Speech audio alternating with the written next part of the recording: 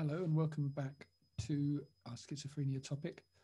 Um, and having looked at one biological explanation of schizophrenia, the dopamine hypothesis, we're now going to look at, at an individual differences one, the psychodynamic approach. And uh, as we know, the word psychodynamic is about the uh, an interest in the different forces that are going on within a person's mind. Then this explanation is going to be telling us that schizophrenia is the result of the way various forces within within someone's mind actually work uh, work together and interact together. Okay, so in the lesson, you should be able, by the end of the lesson, you should be able to describe the uh, psychodynamic explanation of schizophrenia, and you should have the sort of understanding that would enable you to apply this explanation to a novel scenario in an exam situation. Okay, so task to complete. Um, uh, in the resources section, you will have been you have seen on on my post um, a handout on the psychodynamic approach. There's also um, a summary sheet to be done, so you need to uh, complete the AO1 section of that.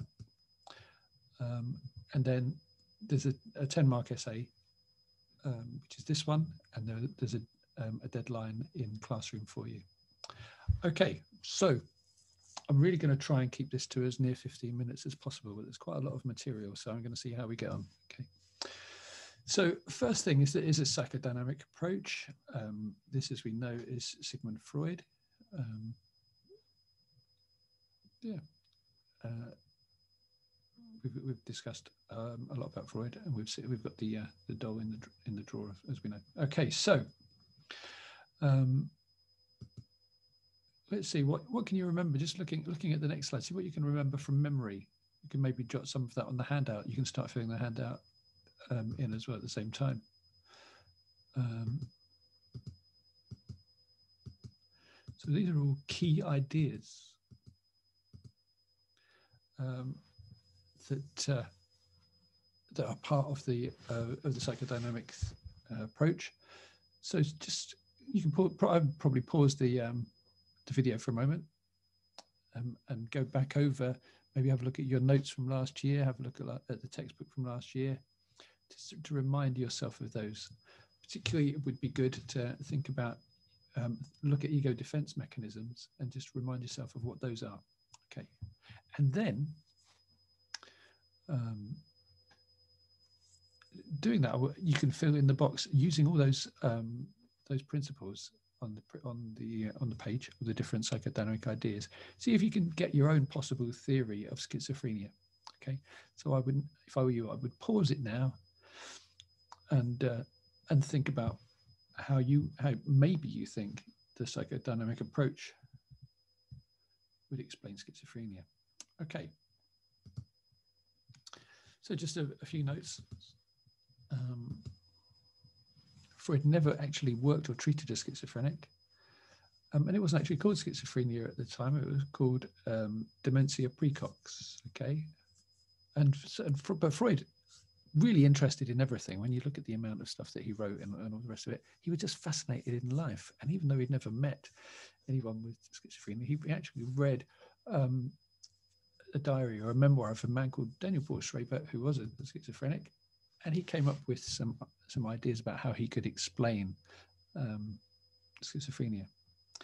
And two of the ideas, two of the, the most important ideas, and these are ones um, they're, they're headings in the textbook, and they're they're also headings in the summary sheet. So it's really important for you to get these ideas down. Um, fixation and um, regression. So just uh, look back on what we uh, what uh, fixation actually means what regression actually means. And just again, you can probably pause it and fill those two things in there.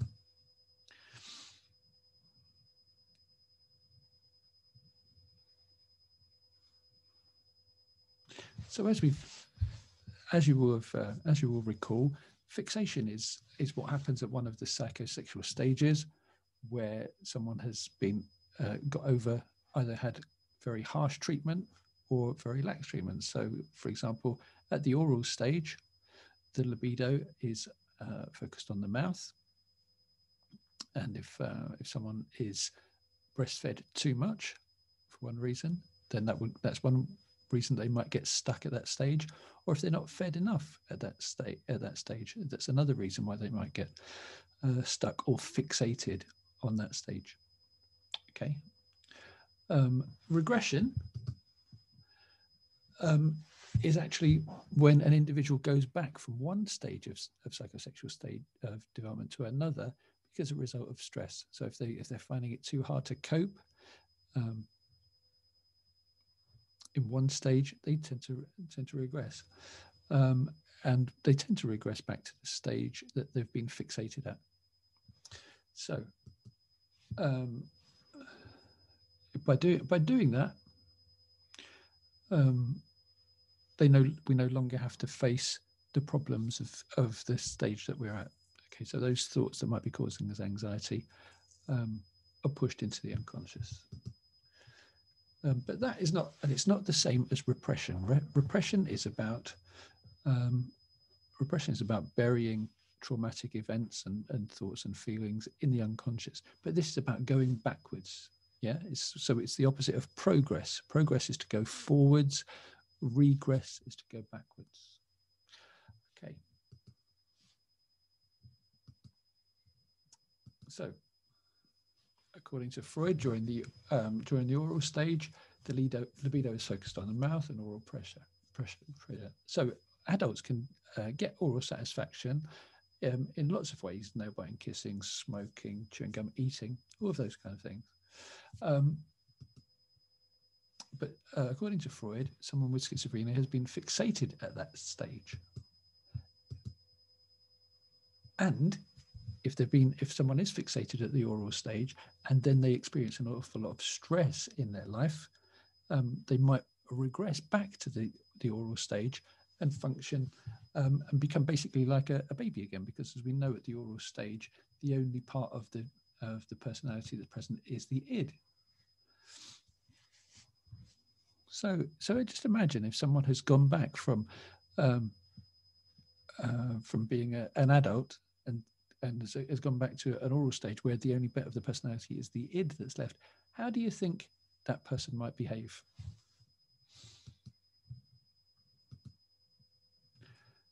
And what do we know? So we know that the uh, the mind of an infant is all id. There's no ego or superego, and the the id is completely self-centered baby just when the baby's hungry it cries. It doesn't worry about how tired its mother is or any other problems it might be causing.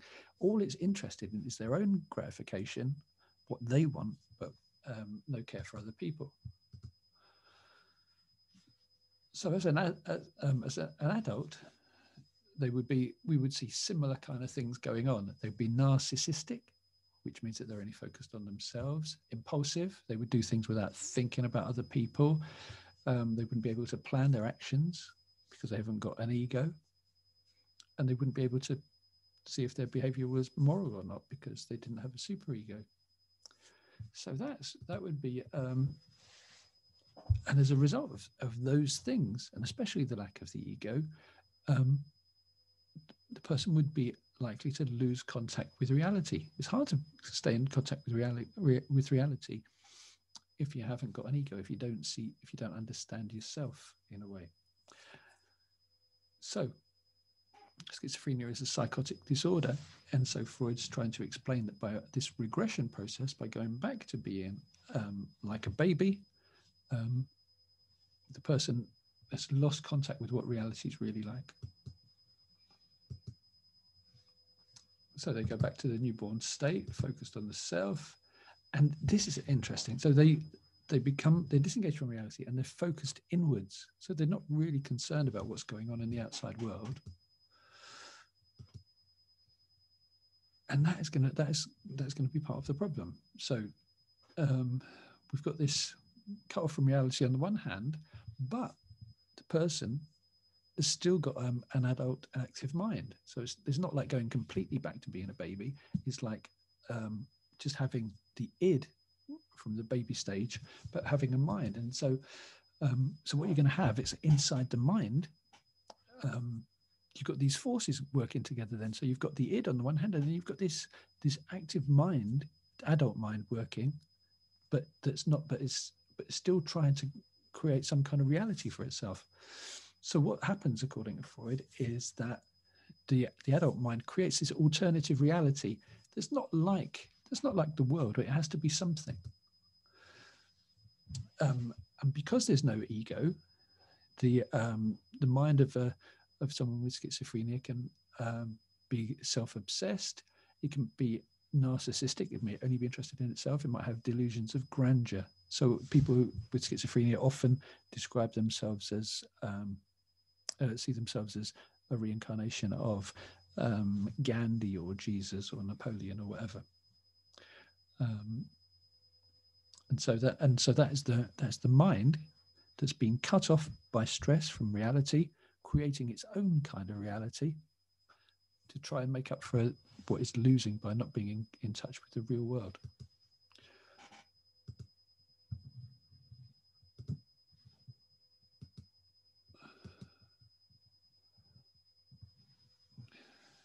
So, um,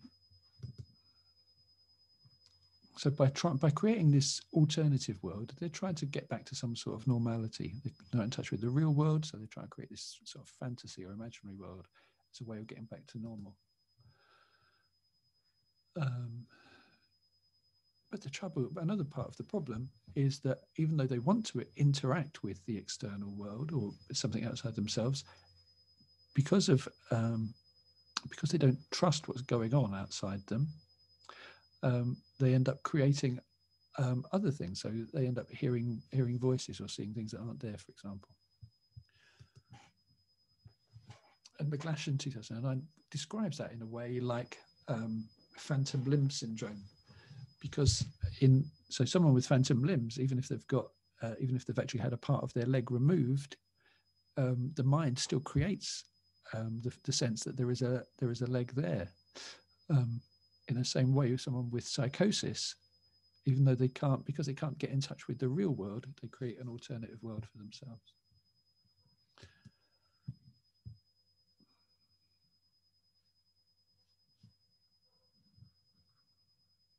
Just going to pause the recording for a moment.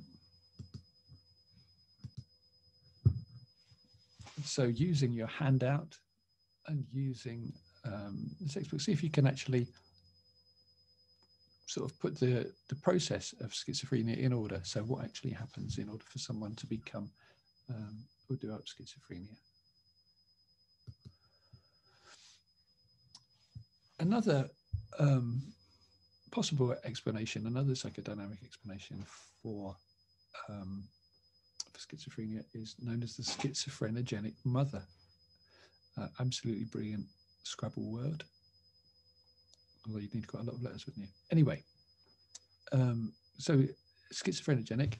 Uh, this this was um, an idea put forward by Frieda Fromm-Reichmann, who wasn't um, who was interested in Freudian ideas, but she developed some of her some of her own. So she she started off believing everything that Freud um, taught, but then came up with her own ideas. So she she's what is known as a neo-Freudian or a new Freudian, if you like.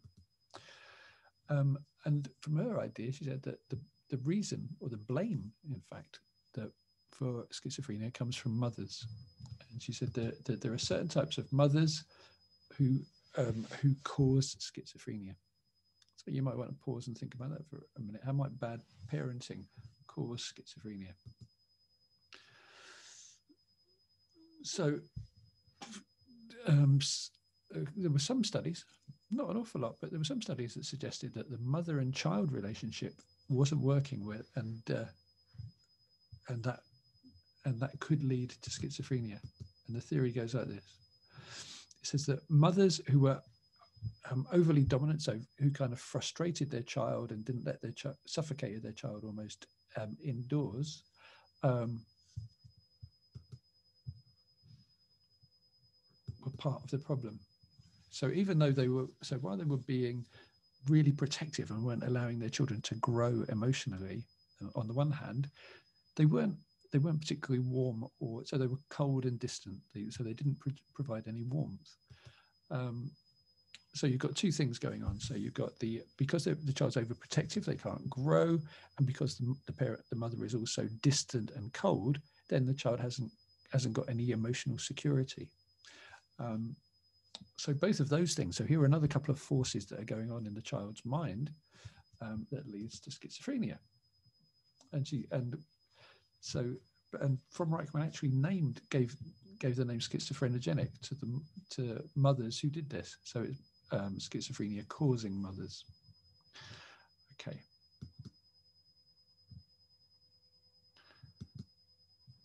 Okay, so um, so what you need to do then is complete your uh, complete the, the, handout on those pages so that you you fully understand Freud's theory alongside um, Fromm-Reichmann's explanation of the schizophrenogenic mother.